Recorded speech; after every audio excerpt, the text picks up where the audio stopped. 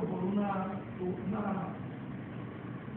rotura y había en la calle Hermana Vina. Es verdad que estaba ahí, yo quiero que él sepa que yo voy a reparar una vez. Y ayer lunes, ayer lunes, antes de ayer el lunes, nosotros cancelamos tres personas. Se lo voy a decir porque hubieron algunos políticos que me llamaron para meterme presión. Y yo aquí, el único compromiso que tengo con el pueblo.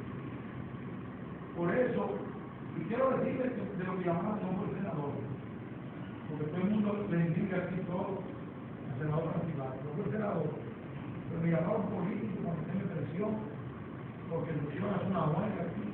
Ojalá la hagan todas, nosotros estamos cumpliendo con nuestro deber.